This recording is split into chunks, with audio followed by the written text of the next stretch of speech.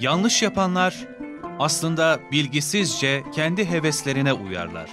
Allah'ın sapık saydığını kim doğru yolda sayabilir? Onlara yardım edecek kimse de olmaz. Sen yüzünü dosdoğru bu dine, Allah'ın fıtratına çevir. O, insanları ona göre yaratmıştır. Allah'ın yarattığının yerini tutacak bir şey yoktur. İşte sağlam din bu dindir. Ama insanların çoğu bunu bilmezler. Ona yönelen kişiler olun. Ondan çekinin ve namazı tam kılın da müşriklerden olmayın. Rum suresi 29 ve 31. ayetler.